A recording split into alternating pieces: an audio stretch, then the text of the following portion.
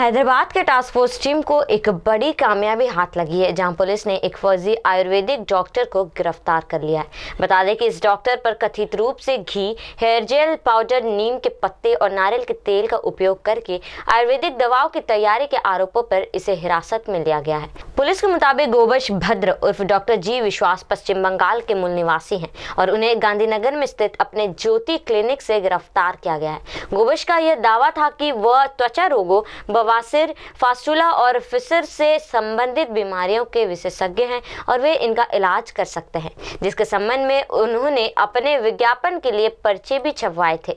आरोपी के अनुसार उसने आयुर्वेद, मेडिसिन और सर्जरी में स्नातक की डिग्री हासिल करने का दावा किया है, लेकिन हकीकत कुछ और ही था।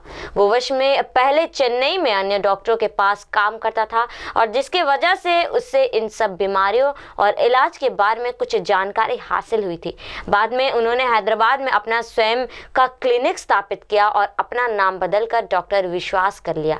पाइल्स फिस्टूला फिसर और त्वचा रोगों के इलाज के लिए नकली आयुर्वेदिक दवाएँ देकर वह भोले लोगों से धन अर्जित करता है और उन्हें धोखा दिया जाता है।